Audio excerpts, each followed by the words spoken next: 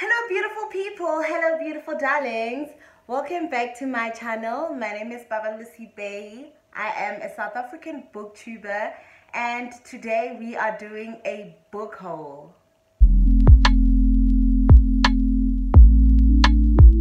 I'm so excited about this book haul because I haven't bought any of the books I actually haven't bought any books this year. Um, if you remember, I did say I wasn't going to buy any books until I finished reading all the books I bought last year.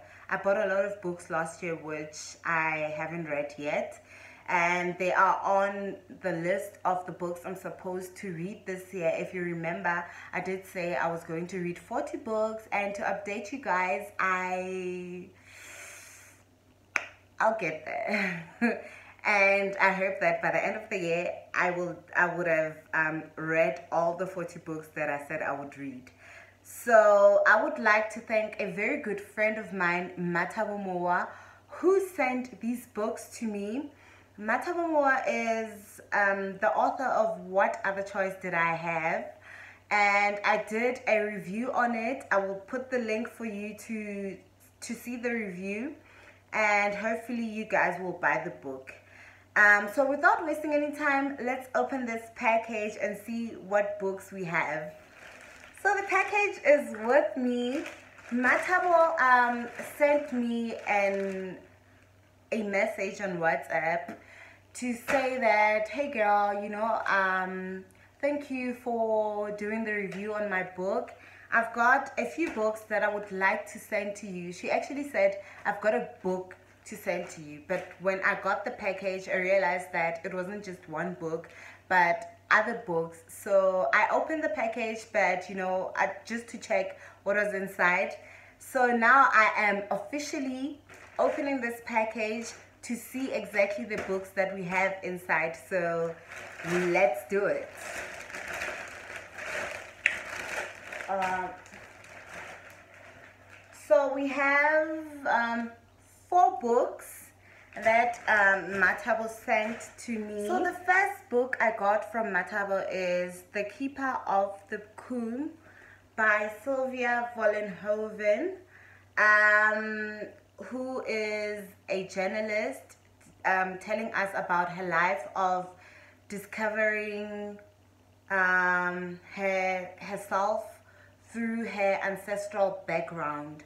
So I am quite excited about reading this and letting you know what this book is all about. But um, I sense that it's something to do with the ancestors because it's been said that um, um, Sylvia tells the story of her life and how it's been turned upside down by an ancestor, Kabbo, a bushman, storyteller, and revolutionary.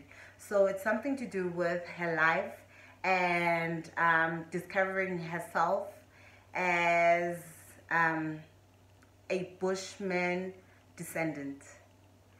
So yeah, I think that's what the book is about. So the second book is Confessions by Malebo Old John Zindi. And about the book um, reads here, the pain of being raped as a child and of being called a prostitute as a teenager left me depleted and imprisoned by my own thoughts and judgment. The pain whispered a subliminal message into my subconscious mind that said, You are not worthy. And as a result, I've spent almost half of my lifetime believing that.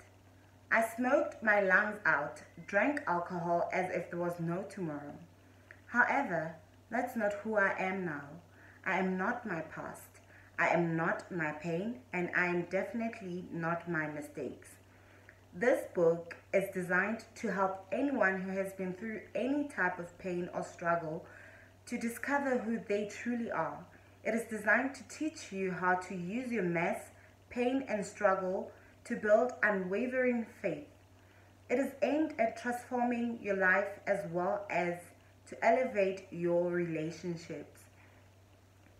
Um, so this is our second book and I think I'm going to like this book although rape stories just whew, um, they're so painful and they get me so angry but let's see how this book goes and I will definitely review this for you. Our third book, um, a very nice and short, um, very nicely designed book, The Undying Spirit of a Woman 3 by Mbalenhle Ulu.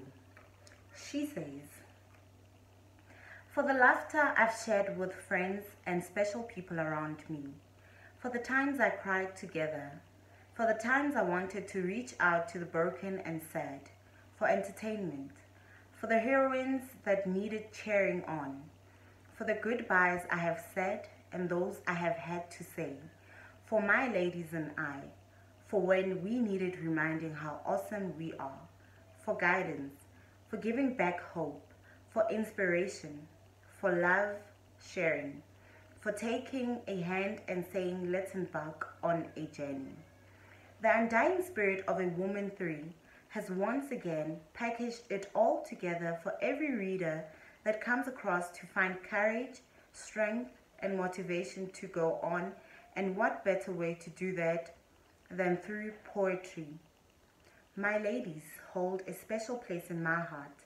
I'm truly grateful for the chance to convey these messages through poetry and nothing would make me happier than realizing that through reading this, they are inspired to get up and find themselves, realize their true worth, recognize and fully utilize their true strengths, love themselves unconditionally, and spread the same love all around them.